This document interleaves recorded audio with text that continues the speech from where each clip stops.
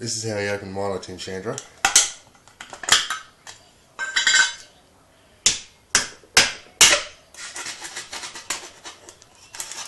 With a spoon.